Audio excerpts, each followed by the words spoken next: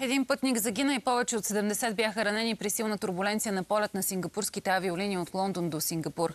Инцидентът с Боинг 777 300 и Air с 211 пътници и 18 членен екипаж е станал на височина над 11 000 метра. Машината е снижила и е поискала разрешение за аварийно кацане в Банкок. Жертвата е 73 годишен британец, който е получил сърдечен арест. Състоянието на 7 души е критично, други 18 души са били хоспитализирани, а още 12 са получили първа помощ на място. Бордът за авиационна безопасност на Съединените щати изпрати спешно петима свои представители, които да помогнат в разследването на инцидента.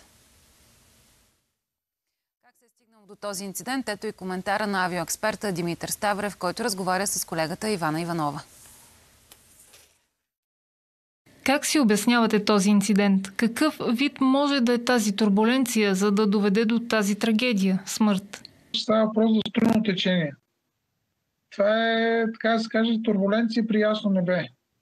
Има два вида турбуленция. Едната, която е при грамотевични облаци, която е лесно разпознаваема, тъй като самолетите имат метеорадари и виждайки тези грамотевични облаци, те могат да ги заобикълят. Но когато има така наречена турбуленция на ясно небе, т.е. така наречено струйно течение, тук много трудно може да се открие и винаги заварва екипажите пътници неподготвени, както се е в случая. Според вас липсата на колан ли е довела до смъртта на пътника? Значи, доколкото видях съобщенията на информационните агенции, става въпрос за смърт след сърдечен арест. Тоест, следствие на прекомерен стрес, пътника е починал. Той не е починал от удара в багажника на главите на пътниците. Повечето пътници, които са ранени, са имат такъв, има такъв удар с главата в багажника на тях, следствие на което са 10 кислородните маски, които са виждали по снимките, вече са публикувани, и изкъртени панели над главите. Тъй като е имало много силно удар с главите на тези, които не са били с колани, в това, което е над главите на пътниците в самолети. Какво означава турбуленция при струйно течение? Ами това е така нареченото струйно течение, което рязко промяна, грубо казвам, плътността на въздуха и посоката на преобладаващия вятър, следствие на което се променя поделната сила на самолета.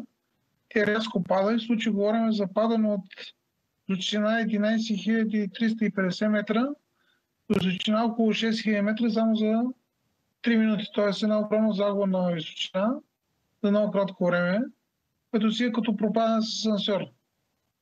И в случая, тъй като това е бил 12 час от полета на самолета между Лондон и а, в случая Сингапур, но той е касал в Банкок извънредно след инцидента. 12 часа полет, обикновено хората са отпуснати, някои от тях спят, други от тях са закусали в този момент. Така че повечето предполагам, че са били с обичайни колани и това е, за съжаление, трагичен резултат. Има ли превенция и какво може да направи един пътник? Ами тези от нас, които пътуват повече самолет, си спомнят, че когато изгасне светлинен сигнал за коланите, си чува гласа на командира, който казва за ваша безопасност, най-добре да останете по време на целия полет с заключени колани за безопасност. Това е, това е единствената предпазна мерка, която може да се предприеме срещу такава внезапна турбуленция. Тъй като тя се появява внезапно, казахме, че не може да се открие с метеорадара, когато е облачната турбуленция. И когато сте с колан, се спасяват. Когато не, носите нараняване, в случай стигаме и до смърт. Нека да успокоим хората все пак. Щом имат колан, значи не трябва да се притесняват. Ако имат колан, нищо лошо няма да им се случи. Така че моят съвет е дори при дълъг полет, колкото и да е неудобно, максимално брой от часове от продължителността на полета да бъдат със заключен колан. И така, имайте предвид съвета на експертите по отношение на полетите и евентуалното попадане в турбуленция. Винаги са затегнати колани. Благодаря на Ивана Иванова за, за това видео, за този коментар. А сега